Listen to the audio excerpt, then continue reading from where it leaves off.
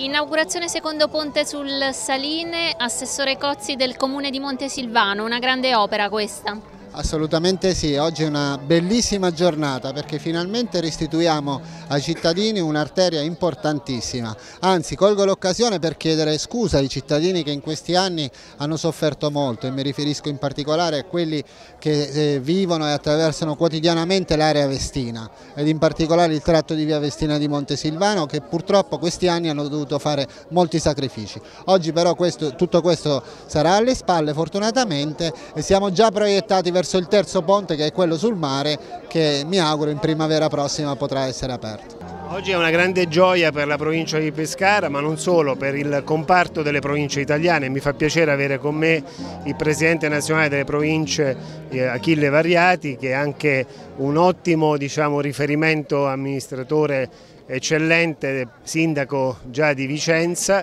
che eh, vuole testimoniare esattamente il risultato conseguito dalla provincia di Pescara in questi anni e in questi ultimi anni in particolare nella difficoltà che le province hanno comunque dovuto affrontare. Si riesce non solo a inaugurare il primo ponte 30 giorni fa e 29 giorni dopo eh, abbiamo appunto la possibilità di aprire al traffico questo secondo ponte che direi eh, rappresentare esattamente la tenacia, l'energia, la, la forza, la voglia di consentire ai cittadini di migliorare la loro qualità della vita. Per noi è una sfida vinta, è vero, questo lo, lo abbiamo già detto in conferenza stampa, ma oggi vedere tanta gente e tante autorità che hanno dire, condiviso l'invito che abbiamo a loro rivolto significa avere in qualche misura soddisfatto un bisogno collettivo ed è quello per il quale noi ci impegniamo quando ci candidiamo. Quando ci siamo candidati quattro anni fa circa chiaramente non era facile scommettere su questo risultato. Eh, abbiamo sforato il patto di stabilità nel 2015